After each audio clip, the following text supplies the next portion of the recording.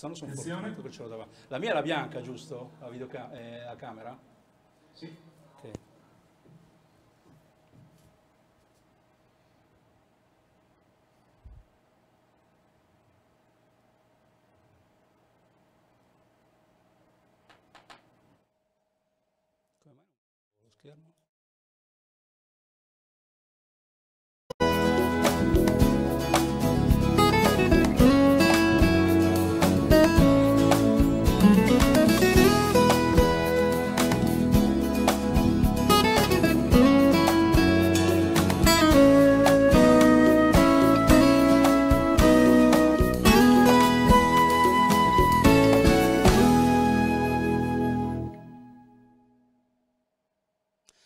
Buonasera a tutti, benvenuti a questa nuova puntata di Sei in Salute. Con questa puntata iniziamo la nuova edizione, la nuova stagione di Sei in Salute, è la terza eh, edizione da quando abbiamo iniziato questa nuova avventura e iniziamo subito questa sera con un eh, argomento importante che spesso e volentieri eh, ne sentiamo parlare, magari poi eh, nel, nei suoi dettagli conosciamo poco. Mi sto riferendo alla malattia di Parkinson. È una malattia, ahimè, arrivata a ribalta anche attraverso, se vogliamo, i, i media eh, internazionali, perché insomma, mh, ne sono poi affetti eh, importanti eh, personaggi, un, uno su tutti, Michael J. Fox, il eh, il protagonista della saga di Ritorno al futuro. Lo faremo eh, questa sera con i nostri due ospiti che vado subito a presentare. Eh, do eh, il benvenuto al dottor Claudio Pacchetti, direttore dell'unità operativa malattia di Parkinson e disordine del movimento presso la Fondazione Istituto Neurologico Nazionale Mondino di Pavia. Benvenuto. Eh, buonasera a lei, a chi ci ascolta. E eh, do il benvenuto anche al dottor Domenico Servello, neurochirurgo, responsabile dell'equipe di neurochirurgia funzionale all'IRCCS, Istituto Ortopedico Galeazzi di Milano. Grazie, buonasera. Benvenuto. Allora, eh, cominciamo subito a parlare di, eh, del, eh, della malattia di Parkinson. Giustamente non si dice più morbo, esatto, ma si dice malattia di Parkinson. Iniziamo subito col neurologo, insomma la parte prettamente medica dell'aspetto. Ecco, iniziamo subito col definire la malattia, eh, quali sono i segni, quali sono i sintomi, soprattutto com'è diffusa sul territorio italiano. Eh, certo, la malattia di Parkinson è una malattia molto rappresentata nella popolazione generale. Bisogna immaginare che è una malattia che aumenta con l'aumentare dell'età, quindi si dice una malattia età correlata, per cui più si vive e più si incontra la probabilità di ammalare di una patologia neurodegenerativa come questa.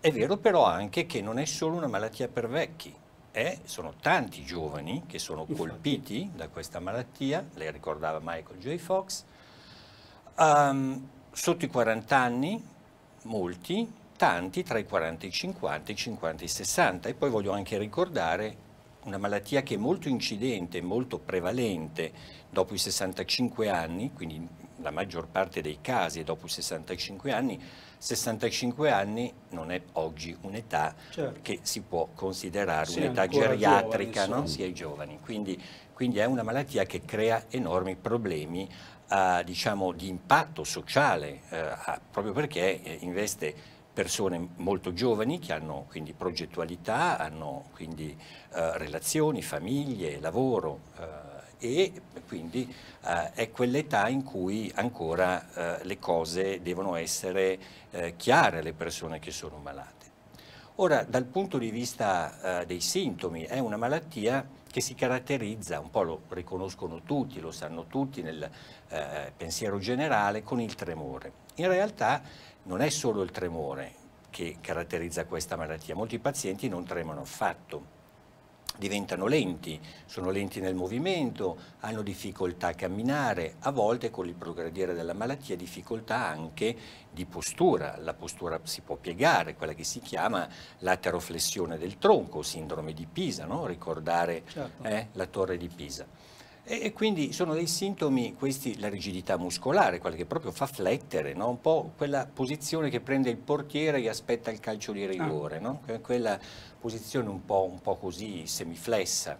E questo è un po' il, il, disturbo motorio della malattia di Parkinson, sul quale poi si vanno a dare delle medicine che sono funzionanti, che funzionano. Però ci sono tantissimi sintomi premotori, non motori, che caratterizzano questa malattia. Per esempio, molti anni prima che la sintomatologia motoria cominci, un, una persona può perdere l'olfatto. L'iposmia è uno dei sintomi che possono precorrere i sintomi motori, l'esordio della malattia motoria. Perché?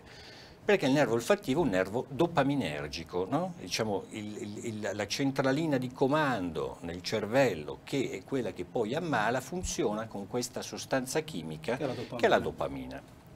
Il nervo olfattivo è un nervo dopaminergico e quindi le persone per anni possono perdere anche la capacità di, eh, di, di sentire gli odori. Un altro sintomo premonitore, anche questo che può anche esserci anni prima, e, e sono cosiddette i disturbi comportamentali in sonno REM, cioè in altre parole, quando una persona sogna è tranquilla nel letto, i muscoli sono fermi e sogna. I pazienti che ammaleranno di Parkinson o di malattie simili possono anni prima presentare questi disturbi per cui nel sonno si agitano, parlano, urlano, eh, a volte i movimenti sono così violenti da cogliere, picchiare chi sta vicino nel letto, no? si chiamano REM behavior disorder in inglese, sono disturbi comportamentali in sonno REM e possono predire eh, una malattia eh, di Parkinson che verrà dopo un anno, due anni, cinque, dieci, a volte anche 30 anni prima. Quindi è una condizione, questa diciamo, di eh, sintomo che è molto importante riconoscere perché pazienti possono essere seguiti nel tempo e quindi dare delle possibilità anche di cura anticipata. Ecco, ma come viene fatta la diagnosi? La diagnosi è essenzialmente una diagnosi clinica, cioè il clinico esperto in disordini del movimento o comunque anche un neurologo generalista nelle fasi iniziali di malattia può fare questa diagnosi. È una diagnosi tutto sommato relativamente semplice per certi aspetti, molto complessa per altri, perché poi un parkinsonismo che è caratterizzato da rigidità, rallentamento del movimento e qualche volta tremore, lo troviamo, no, questa matrice sintomatologica, in altre condizioni, in altri parkinsonismi che non sono la malattia di Parkinson, che sono un po' peggio nella loro evoluzione e proprio perché le medicine lì non funzionano. Certo. Quindi la diagnosi è sempre clinica, poi ci sono diciamo, delle eh, de degli esami strumentali di supporto, per esempio uno che ci permette di escludere altre condizioni di malattia è la cosiddetta scintigrafia cerebrale DATSCAN. In sostanza guardiamo l'albero dopaminergico con dei radioisotopi che vengono iniettati, si vede l'albero dopaminergico, si colora il cervello, se si colora poco vuol dire che c'è un problema lì proprio dove viene rilasciata la dopamina. Ecco, eh, io prima di passare alle, eh, alla terapia farmacologica, sempre col dottor Pacchetti, invece andrei dal eh, dottor Cervello per chiedergli, eh, si sente, si è sentito parlare, poi eh, ci ha confermato che è una cosa, tra virgolette, vecchia, la stimolazione cerebrale profonda. Eh, di cosa si tratta? Esatto, appunto ci tenevo a fare questa promessa perché eh, spesso e volentieri con, leggendo i giornali o vedendo in televisione dei servizi danno qualche volta l'impressione di una cosa nuova. In realtà non è assolutamente una cosa nuova perché si fa da oltre 30 anni nel mondo oggi eh, sono, ad oggi sono stati fatti oltre 150.000 casi, quindi non è una uh, sperimentazione, non è una cosa sperimentale. Tanto vediamo delle immagini che molto schematicamente ci fanno uh, vedere un po' di cosa esatto. si tratta. Mm, in sostanza è una procedura mini-invasiva che consiste nel posizionare in genere due elettrodi in determinate strutture ehm, all'interno del cervello, in profondità del cervello. È una uh, metodica, uh, come ho detto, uh, mini-invasiva, quindi si fa attraverso un piccolo foro di trapano e in genere il paziente è sveglio perché deve collaborare, questo per due motivi. Innanzitutto perché su alcuni sintomi come la rigidità e il tremore l'effetto della stimolazione è immediata, quindi se in sala operatoria do la corrente e il paziente smette di tremare o eh, non è più rigido vuol dire che ho raggiunto il eh, bersaglio. L'altra uh, situazione per cui è indispensabile la collaborazione del paziente è quella di scongiurare possibili effetti collaterali dovuti alla stimolazione, quindi che ne so, contrazioni motorie, difficoltà a muovere gli occhi, dei formicoli fastidiosi agli arti. Come dicevo prima, oltre 30 anni, quindi 150.000 pazienti, fa sì che è una procedura sicura, soprattutto ovviamente fatta in centri con esperienza, certo, certo, è efficace, perché l'efficacia dell'intervento è garantita, perché devo dire che il Parkinson è l'unica patologia in cui si usa questa procedura, appunto la stimolazione cerebrale, che ha un test predittivo. Cosa vuol dire? Che il eh, paziente viene inviato al chirurgo solo se supera una determinata serie di eh, test, di valutazioni, perché si è sicuri del risultato, quindi non è che gli elettrodi si mettono e poi si dice boh, vediamo cosa certo, succede. Certo. Si sa già che eh, l'intervento funzionerà, non solo, ma si può anche predire cosa aspettarsi dalla uh, stimolazione. Ecco, una cosa volevo chiedere. Eh Cosa succede in realtà in sala operatoria e soprattutto cosa deve sapere il paziente prima lei giustamente diceva che eh, il paziente deve essere candidato a questa eh, operazione, chiamiamola operazione, poi in realtà un'operazione non lo è. Esatto, un parolone, operazione. Esatto. si tratta di fare due tagliettini di 5-6 centimetri e due piccoli fori di trapano nel certo. diametro di pochi millimetri. Uh, è una procedura assolutamente indolore, nel senso che ovviamente si ha un attimo di fastidio quando si fa l'anestesia locale, ad esempio per certo. uh, il taglietto, dopodiché tutte le procedure sul cervello sono indolori. La posizione non è comodissima, ma uh, si cerca di migliorarla con cuscini e il problema è che il paziente deve stare immobile eh, con la testa bloccata in questo anello per circa un paio d'ore, perché devo dire noi insomma, siamo tutto sommato abbastanza veloci, quindi in genere in un paio d'ore si riesce a effettuare l'intera procedura. La seconda parte è quella quindi del posizionamento degli elettrodi. Il pacemaker invece in genere eh, si eh, posiziona in una tasca sottocutanea a livello del torace e quello è una procedura che si fa in anestesia generale perché ovviamente non occorre che eh, il paziente collabori. Perfetto. Io adesso do la linea alla pubblicità per il nostro primo blocco, ma tornate subito qui in studio con noi perché continueremo a parlare della malattia di Parkinson.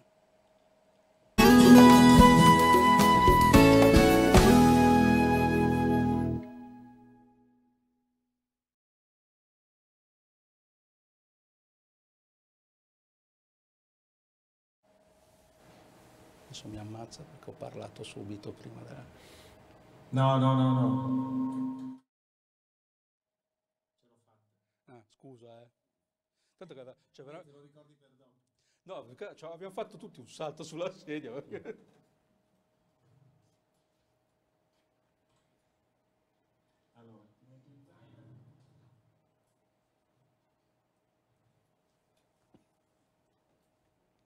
Ovviamente poi c'era la domanda, ho passato a lui sì, sì. la giostra anche un po' così.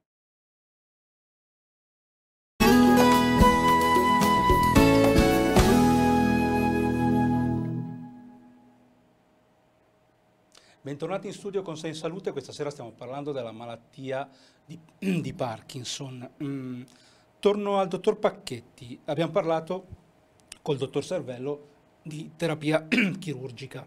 Parliamo invece di terapia farmacologica.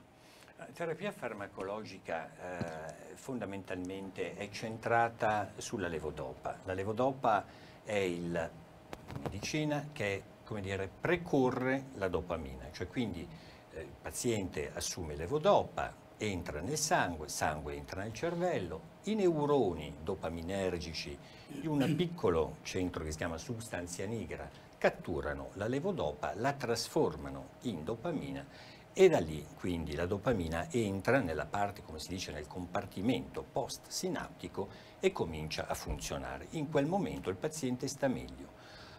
Trema di meno, si muove più velocemente, la rigidità diminuisce fino a scomparire. Quindi questa è la terapia, diciamo, più importante che abbiamo a disposizione per la malattia di Parkinson. Poi naturalmente esistono tutta una serie di altre terapie ancillari, eh, sono sigle, diciamo, sono inibitori delle mm, COMT e quindi farmaci che possono aumentare l'azione della levodopa, dopaminogonisti, cioè farmaci che simulano l'azione della mm, dopamina in modo diretto, quindi possono integrare l'azione della levodopa, inibitori delle monoaminossidasi che preservano la dopamina nello spazio sinaptico e quindi insomma aiutano anch'essi l'azione della levodopa. Ma volevo dire una cosa, eh, cioè la stimolazione cerebrale profonda, la DBS, incontra la terapia con levodopa a un certo punto. Perché?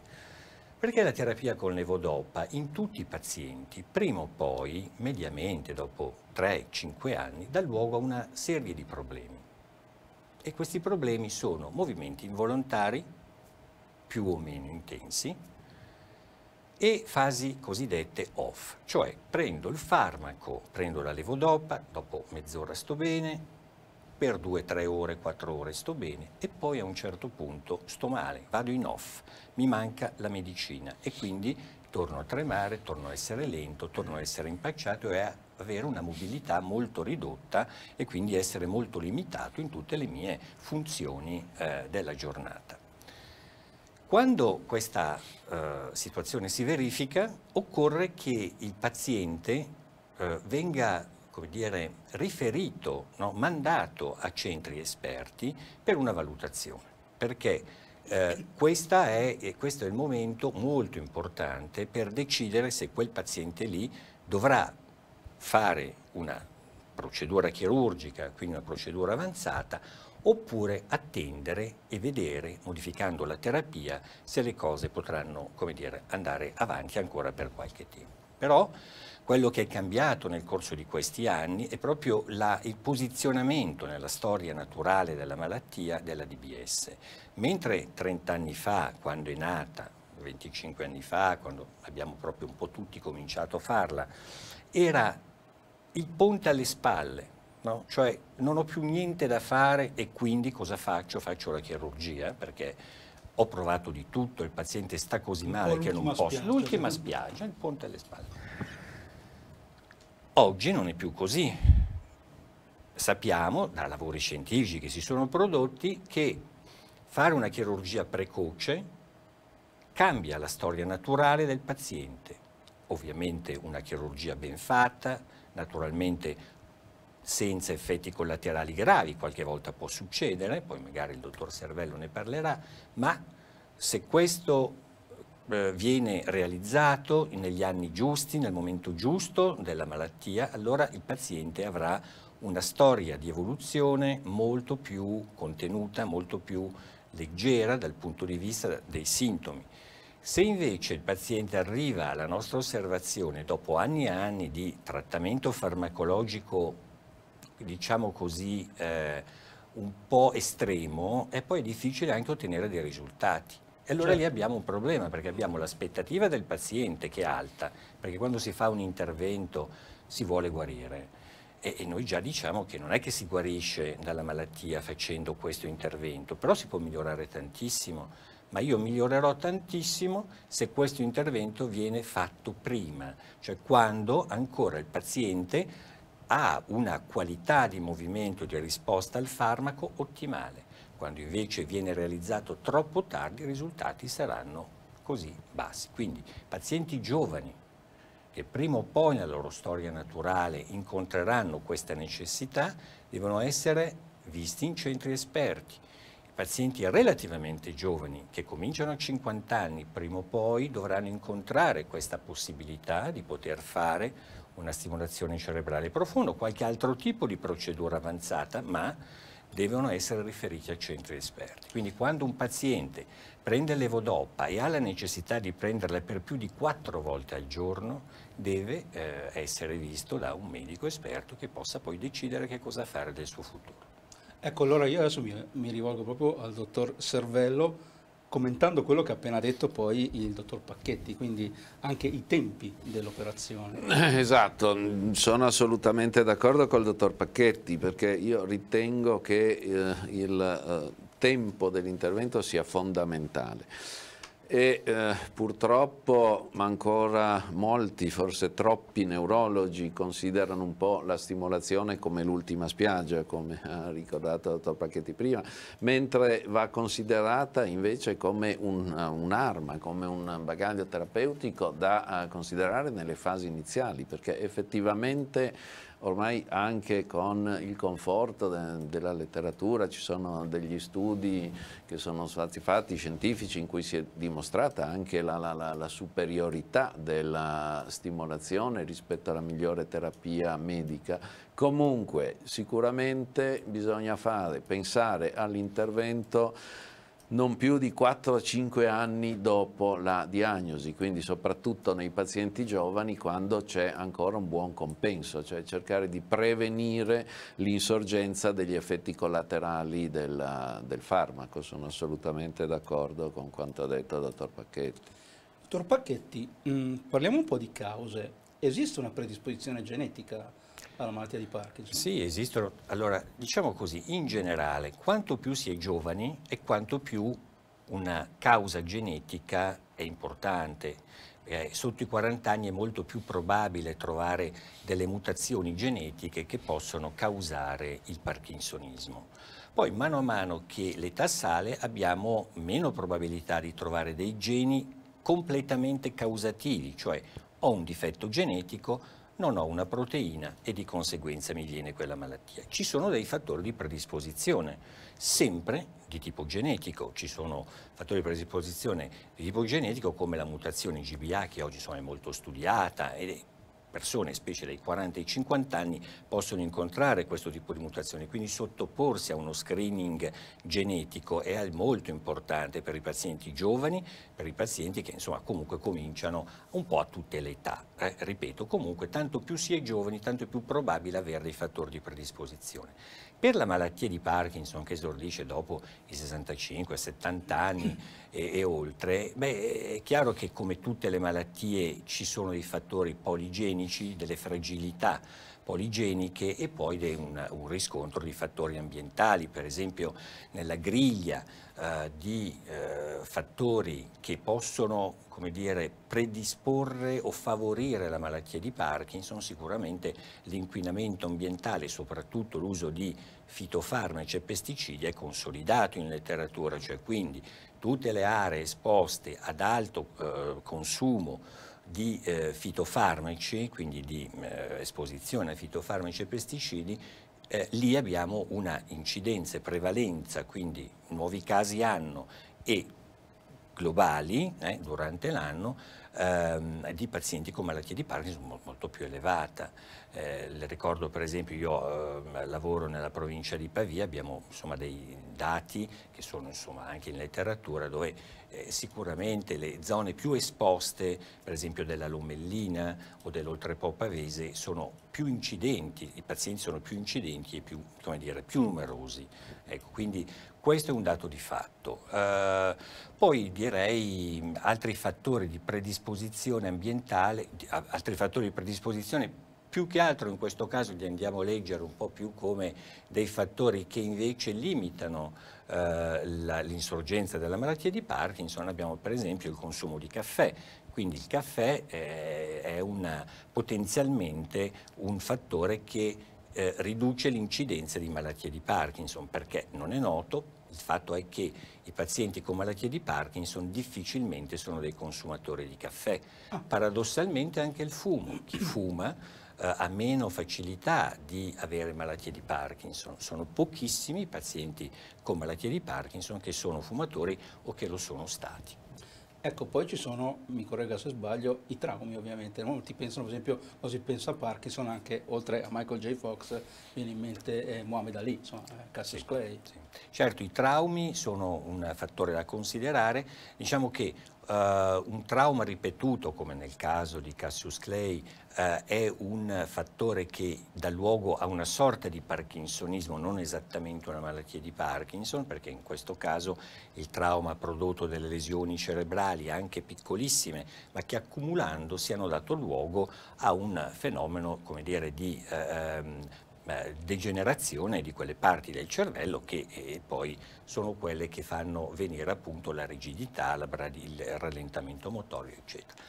Eh, che i traumi unici, magari anche importanti, possano essere causativi nel tempo dello sviluppo di una malattia di Parkinson è molto discusso in letteratura, ma non ci sono delle evidenze così concrete. Ok, perfetto. Io adesso do la linea al secondo blocco di pubblicità, ma tornate qui subito in studio a noi perché continueremo a parlare della malattia di Parkinson.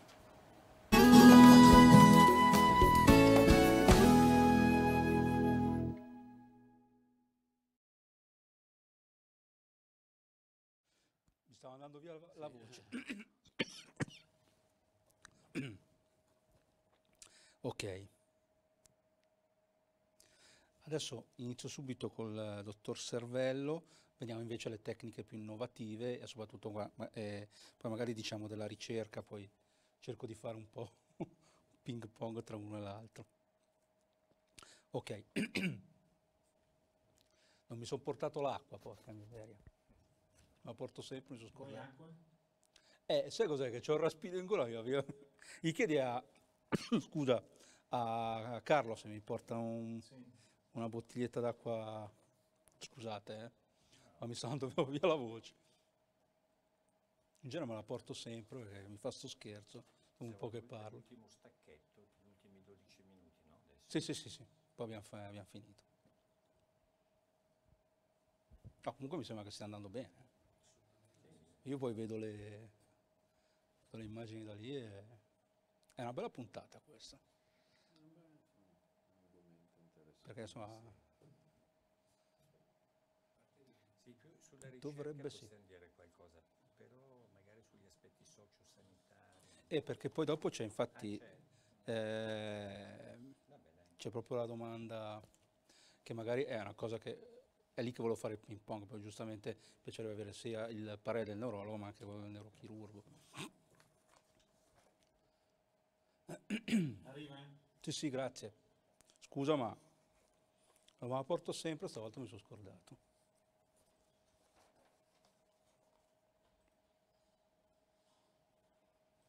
Te c'ho sto raspino in go... Che di questi tempi non fa mai un bel vedere. No, fa...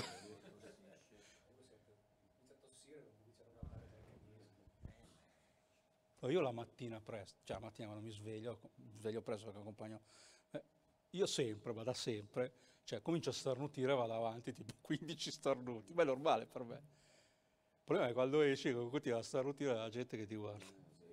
In metropolitana avevo, mi ricordo che avevo fatto il vuoto intorno.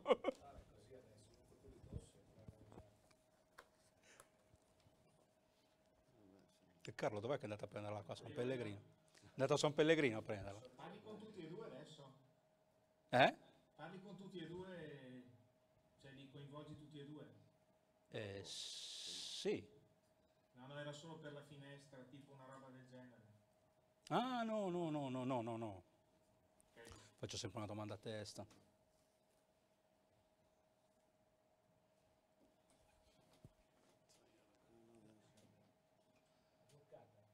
No, no, tira forte. Perché...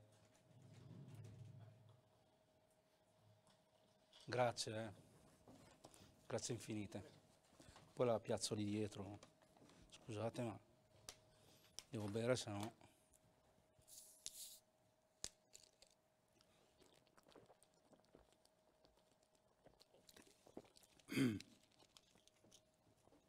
Mettiamola qua dietro. Ok, va meglio. Scusate ancora ma... Ok, ci siamo.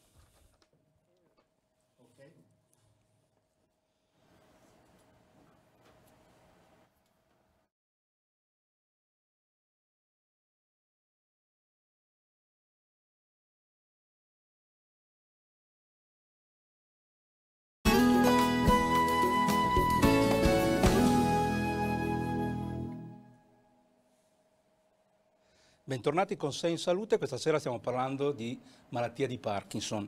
Eh, torniamo al neurochirurgo. Eh, ci piacerebbe magari sapere qualcosa circa eh, le tecnologie più innovative. Abbiamo visto la eh, stimolazione cerebrale profonda, però sicuramente la ricerca e eh, la biotecnologia sta lavorando in questo senso. Sì, sicuramente, ancorché secondo me nelle eh, tecnologie più invasive c'è un po' di meno fermento rispetto alla ricerca in farmacologia.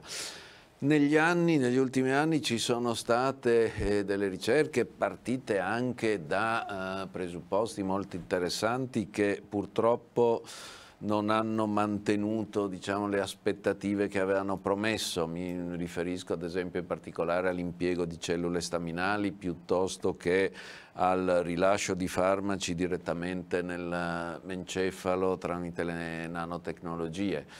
Oggi come oggi l'unica novità eh, esistente è eh, l'ultrasuono, cioè la uh, lesione controllata alla risonanza fatta con gli ultrasuoni che è una uh, tecnologia che è nata in realtà per il tremore essenziale, quindi non per il Parkinson, ma che adesso si incomincia ad utilizzare eh, nel Parkinson. È una cosa ancora assolutamente sperimentale, bisogna vedere se effettivamente si potrà usare e, eh, nel Parkinson e eh, se eh, sarà eh, efficace nel Parkinson.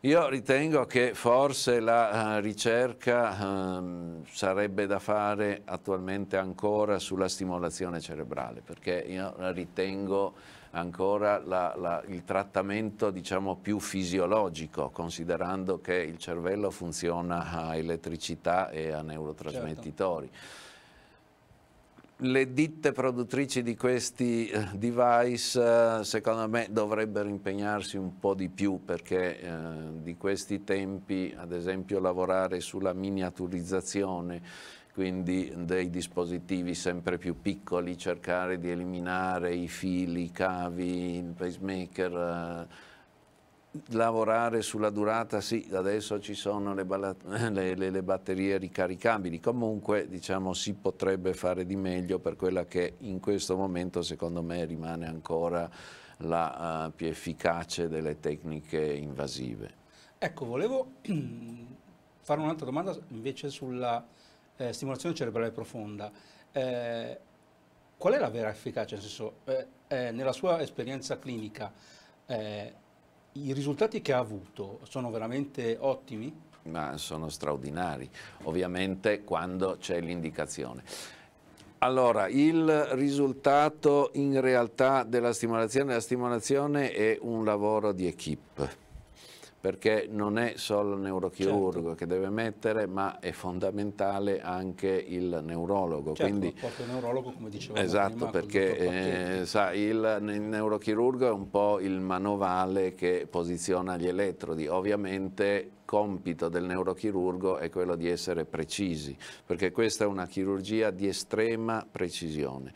È sufficiente uno scarto anche millimetrico, cioè certo. due millimetri di posizionamento dell'elettrodo possono inficiare la, la la terapia e quindi questo è il ruolo del uh, neurochirurgo. Il neurologo deve poi gestire il paziente. Certo allora, se il neurologo non ha l'esperienza, sa, adesso questi eh, device sono estremamente sofisticati, cioè ci sono decine e decine di possibilità di, di, di, di, gestione, di controllo, di, modificazione dei parametri.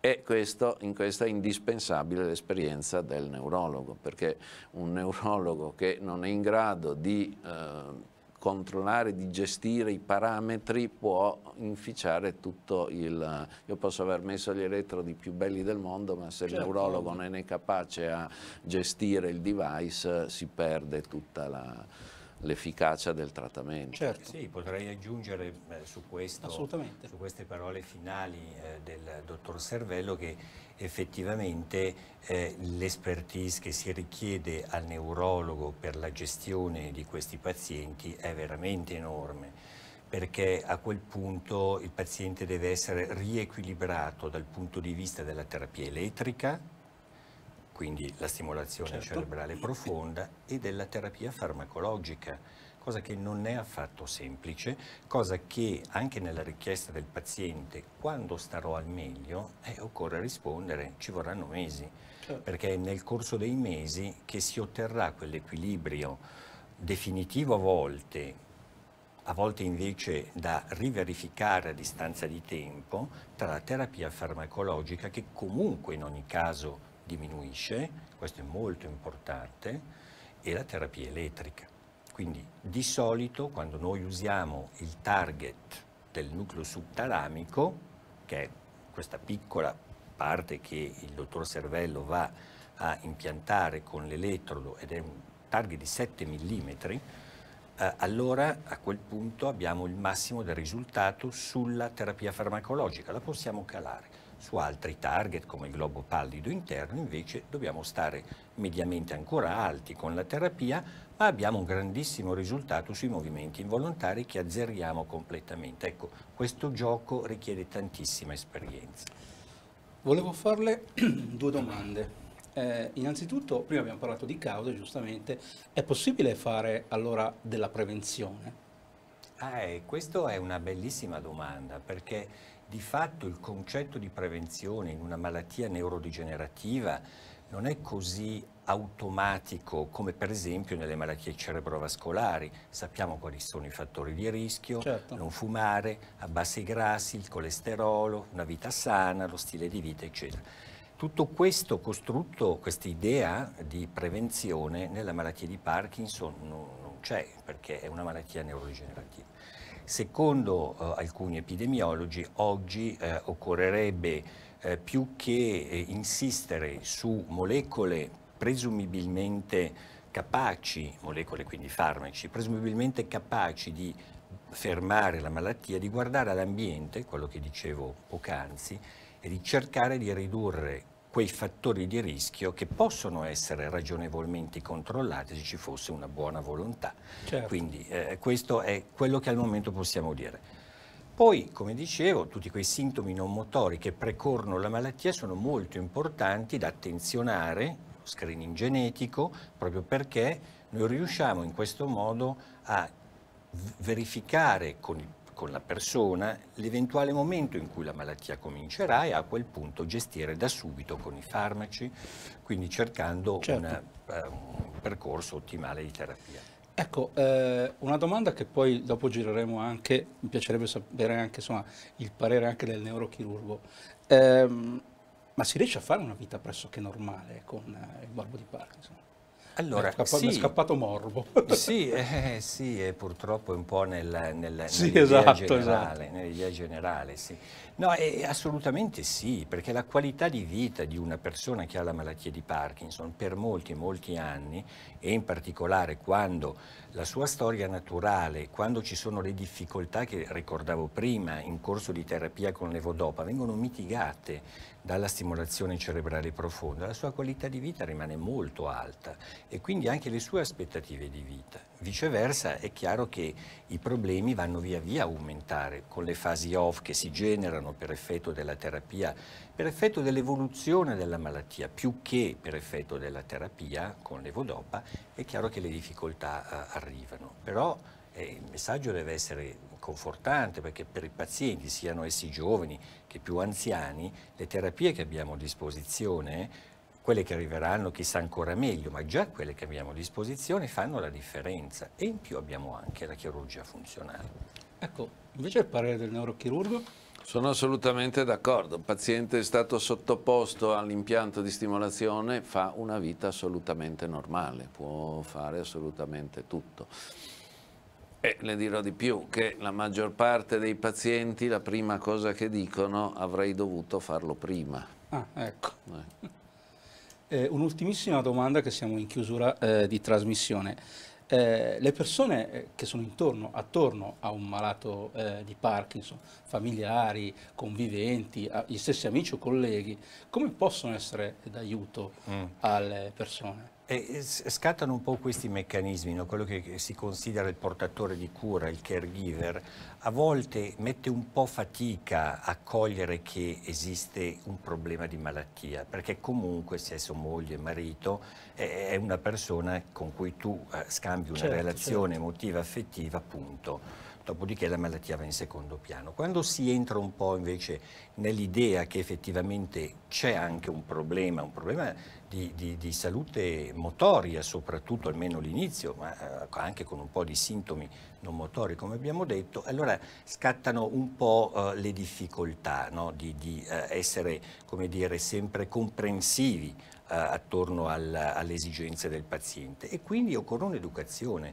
occorre un'educazione alla, alla, alla, gestione dei rapporti relaz relazionali, delle re relazioni, di cosa fare eh, con eh, il paziente con malattie di Parkinson, non sicuramente nelle fasi iniziali, diciamo per i primi 5-8 anni assolutamente no, ma poi quando le cose possono essere un poco più complicate occorre davvero che il caregiver, il familiare abbia una sua educazione, abbia un suo supporto sia in termini di risorse, eh, perché così magari eh, è anche eh, più incentivato a, eh, essere dentro questo tipo di eh, soluzione, avere una soluzione del problema e quindi magari essere meno sofferente dentro questo tipo di relazione che è comunque impegnativa. Certo. Lo stesso presuppongo anche sul piano neurochirurgo, insomma la, le persone che sono vicine devono anche dire, sostenere la persona che poi magari si deve eh, sottoporre a questa eh, tecnica. Assolutamente, perché devo dire che anche lì alle volte vedi il caregiver, cioè il, il compagno, la compagna, possono passare o da una assoluta avversione all'intervento per cui mettono anche in difficoltà il paziente stesso, ma eh, dovrebbero cercare invece di aiutarlo ovviamente. Certo. Benissimo, siamo arrivati in chiusura di trasmissione.